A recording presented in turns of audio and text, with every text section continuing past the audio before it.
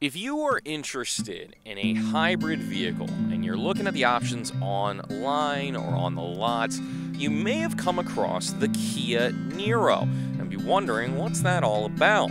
Well, let me tell you a little bit about this one. This in particular is a 2024 Kia Niro SX Touring plug-in hybrid.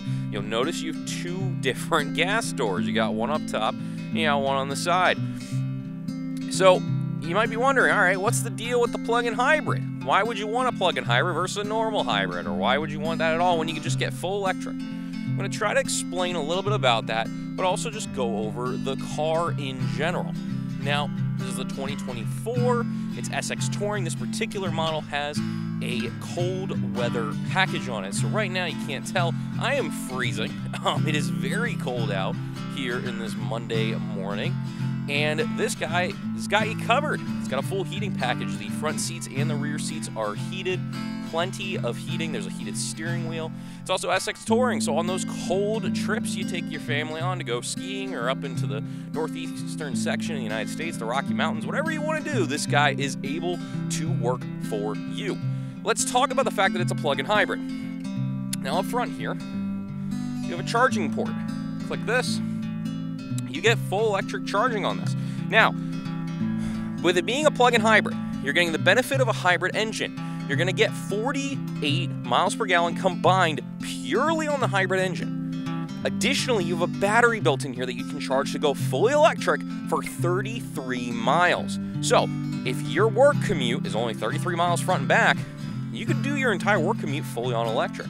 It also has automatic modes to determine, hey, I need to go to the electric engine versus, hey, I need to go to the gas engine. It's all built in, all standard, ready to go. But say you run out of electric, maybe it's one of those cold days, your electric engine ain't working right for you, you run out of battery halfway to work, guess what? No problem, you're not stranded. You have the hybrid engine in the car to get you 48 miles per gallon. So honestly, it's the best of both worlds. You have keyless entry. As long as you have the key in your pocket, it will lock, it will unlock go. Open the car up. You have a beautiful interior here. The SX Touring, this guy's got full leather seats, lumbar support, fully electric seats.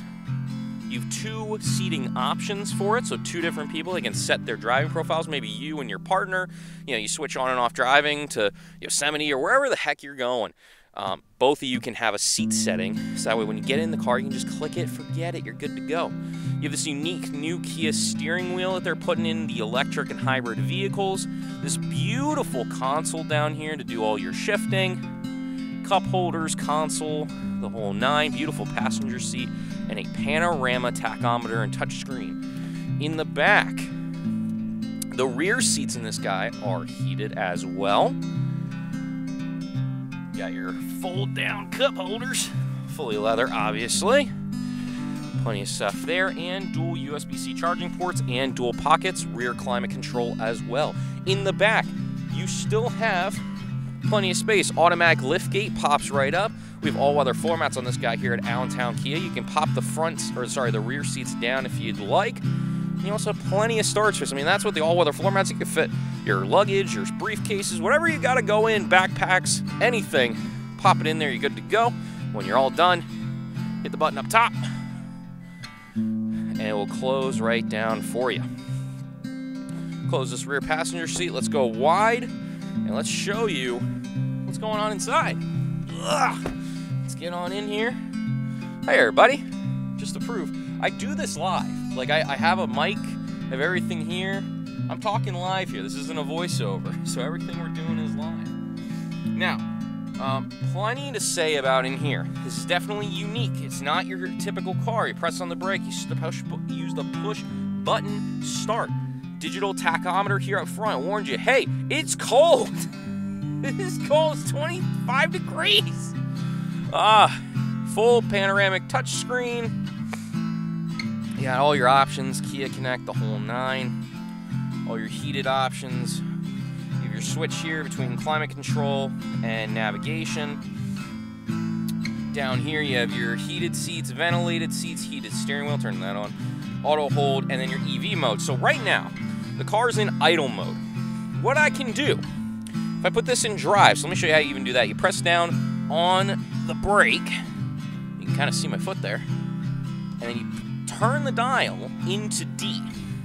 Now, right now it's in, it tells me I'm in EV mode, it tells me I'm in idle. If I let off the gas and I press on the gas, or sorry, let off the brake, push on the gas a little bit, you'll see I'm in electric mode. Now it's down to idle. If I want to turn that off, see, I'm like, ah, put in EV. Or sorry, press the EV mode again. Now the hybrid turns on. Oh, my camera's going crazy. Now the hybrid turns on. I actually heard the engine turn on. I don't think you can hear it on the shotgun mic here. But now you're in, and it's actually charging the electric battery. You turn it back to electric mode or leave it on automatic. You also have all your different drive modes. Put it in sport, put it in eco. You want more power? Go in sport. You want more economy? Put it in eco. Pretty self-explanatory. Plenty of charging options down here. Plenty of stuff when you throw it into reverse. You got your parking sensor, your parking lights. Everything here just kind of works.